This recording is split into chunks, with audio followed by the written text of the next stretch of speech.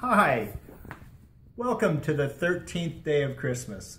I don't know about your house, but at my house, we have our heads all stuck into books and we're trying to polish off our leftovers. Just got done skiing Diamond Head on Blewett Pass, and we wanted to make sure if you didn't get the books you wanted for Christmas, that you have a second chance. All the books from our holiday flyer are 25% off.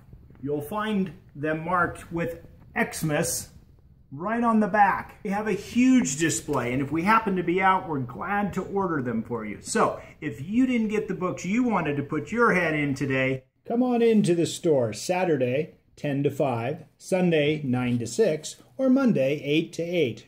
But your second chance ends Monday at 8 p.m. Remember, 25% off all of our holiday catalog books. We'll see you this weekend. Thank you.